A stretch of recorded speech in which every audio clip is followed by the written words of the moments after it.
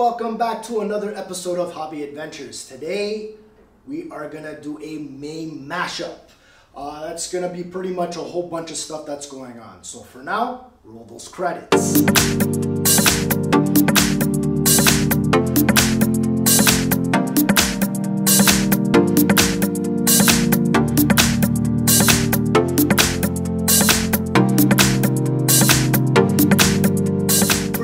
Update, it's gonna be a mashup. It's gonna be a whole bunch of stuff. I got my phone to make sure that I know what I am saying and be on track. No pun intended.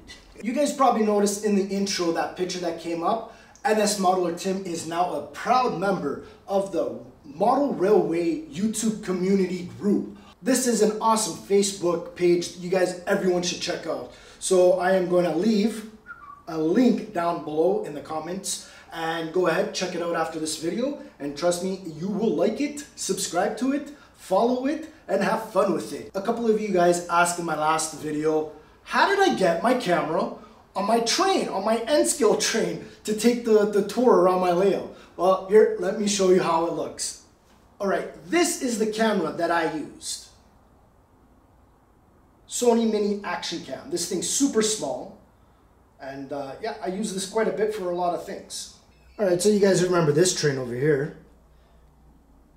Remember these cars right here? So what I did was, as you can see, the first car is empty. This first well car.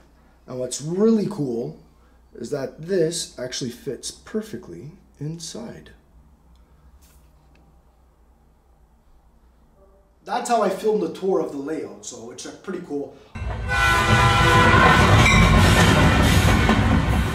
Things that happened quite a while ago was um, my oldest daughter Mika. She was having fun running the trains and she wanted to try out switching. So I was like, nah, no problem, right? So my daughter wanted to run this uh, Rapido CN GMD-1. It was a good call because this is a switcher. So, so she was trying it out. Uh, she ran the train a little too hard, trying to couple up the to the cars, and she broke the coupler. So that's all right. I ended up calling Rapido, told them what happened, really cool about it. They ended up sending me a email back saying that that was actually pretty prototypical and that actually happens in the real real world, which I started laughing when I wrote that. Rapido, they were so cool about it. Check that out. Huge thing for just one little coupler, but awesome, awesome, awesome company. They were like to send out a coupler for my GMD-1. All right, so let's open it up and let's see what we got. So here is uh, red flashing. I ended up getting 10 of these. There you go.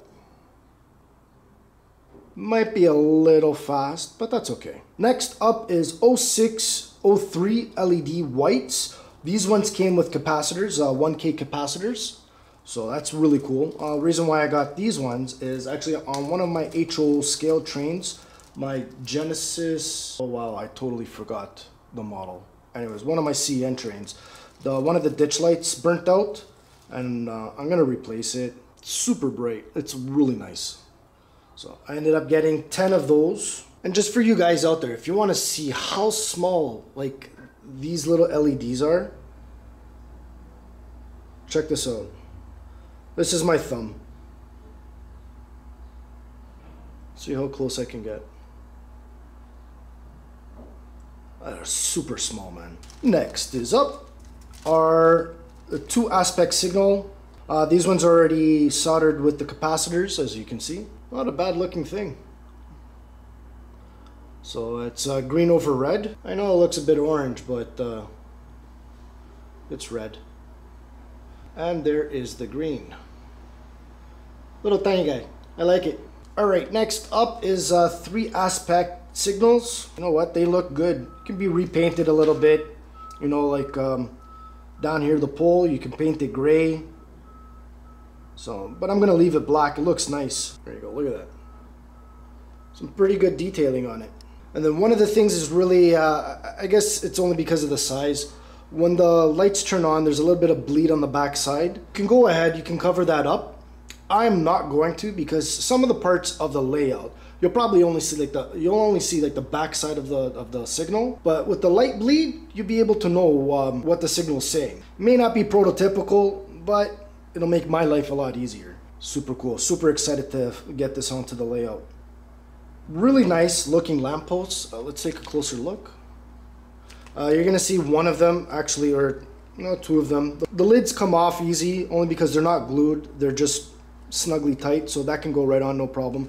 So this is a warm yellow or warm white uh, light. I think this is more for an HO scale, only for the fact that these lights, the lamps, are a little big.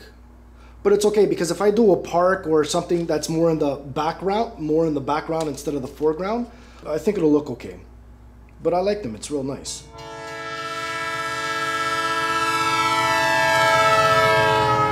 on the right, you'll see my MacBook Pro with Model Railway YouTube community group right there. Plug in. And then on the left, you see a very, very, very old PC computer. I had to do some maintenance on this thing. I actually reformatted the hard drive, reinstalled Windows XP. Did this specifically so that I can run my ESU LokProgrammer. For all you Mac users that have a LokProgrammer, you know that we cannot run that program on a Mac. You can by partitioning the hard drive, installing Windows. That can cause a lot of problems with our MacBooks, only for the fact that there is a lot of viruses for PC, not so much for Apple computers, but more so for PCs.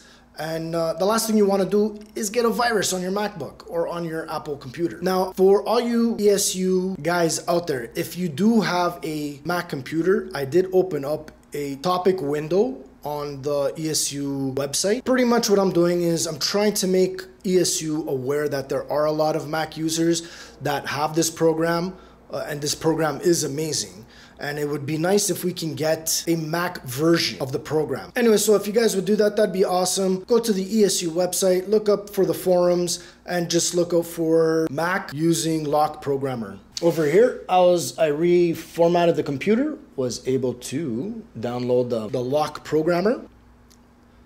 As you can see, it works. So happy with it. So happy with it. All right, so enough of that one. The other thing that I've been doing with the Mac is this. And this is all thanks to one guy, Steve Bonneville. Yeah, go check him out. I'm gonna throw up a link over, over here, or you can check out in the description below. I'll show you what he got me into. I'm blaming you for giving me extra work. Anyways, and uh, let's get a closer look here. The thing that I've been uh, doing over here on the computer is uh, Arcadia Local roster. This here I decided to do after Steve sent me what he did to keep uh, track of his stuff. So let's go ahead and check out, see what I did. This is the Arcadia Locomotive roster. As you can see over here, this is manufacturers, starting off with Atlas, Bachmann, Fox Valley Models, Genesis, Kato, Microace, Rapido, and Lima. And then we also have uh, N scale, the scale that it's in, the model names, uh, road numbers, purchased price, all the way down here. You even have a subtotal of everything uh, going on with DCC or DC. Decoder manufacturers, if the trains have any um, decoders, going from Digitrax, SoundTraxx, Bachmann, and so forth. And then for the decoder, DCC decoder and number of decoders, I'll give you an example would be right around, oh, there it is. Okay, DZ126IN, and it's times 2, and that's uh, for the TGV. They actually had to use two decoders. So something that's really cool that I did was uh, ratings. So these are Arcadia ratings or my ratings of each train. Uh, see, two stars, five stars. To give an example, the two stars here is the N-Scale DD40AX by Bachmann. Now this one is like just a regular uh, regular one. Uh, this is the one that's more of a better line from Bachmann. As you can see, this one here has a SoundTraxx decoder. All right, another thing that I've been doing here with numbers is uh, setting up a spreadsheet for recording the values, the CV values that I'm using for speed matching. Here you can see it's a UP Heritage SD70ACe number 1982 using a Digitrax SDXN146K1E decoder. Oh my goodness. Okay, in this column over here, uh, it's just the headlines for minimum speed, acceleration, braking, max speed, mid speed, uh, motor curve tables, and blah, blah, blah, blah, blah, blah. Now, another thing that I did was I ran the trains through the speedometer uh, tester that I have at factory settings and 303 kilometers an hour. So fast, so fast, right out of the box. I am so surprised at the fact that out of the box, these trains are running so quick. I know that a couple of you guys out there asked uh, or were wondering, um, what the factory speed was. So what I've been learning is on how to live stream and what programs I need to use to live stream. Uh, that's been sort of what's been going around here on YouTube is live streaming. All right, so the program that I'm going to be using for live streaming is OBS. Now guys, if you are getting into live streaming, this is a pretty good program to use, as well as if you're getting into making videos for YouTube, OBS, you can actually edit videos with OBS, which is really cool. And the best part is, it is free. Oh yeah, can't go wrong with that one. Now, another tool that I'm going to be using here for live streaming is Epic Cam Viewer Pro. This one here, the download version onto your computer is free, but for the iPhone, you're going to have to pay for that. Oh, and there you go. Look, OBS. Oh my goodness.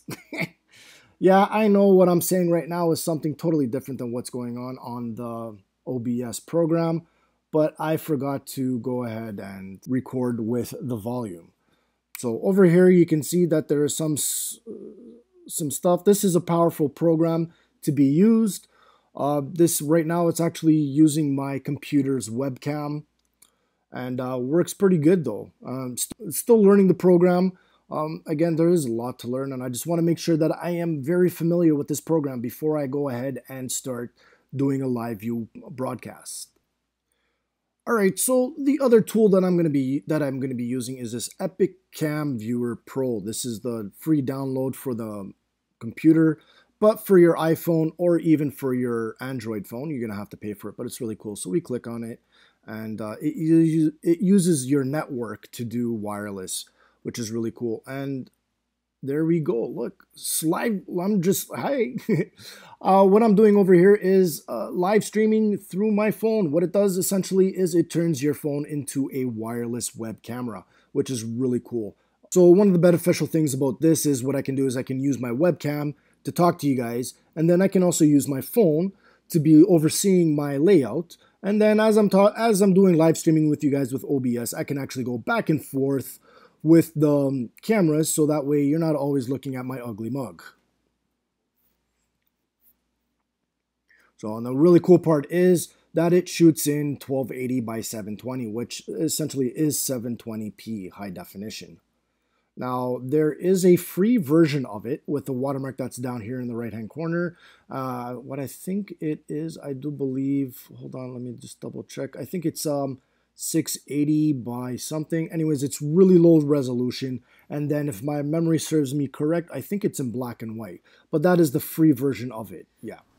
That is it for the rest of this episode. Hope you guys enjoyed it. Guys, just remember, keep on modeling. Till next time.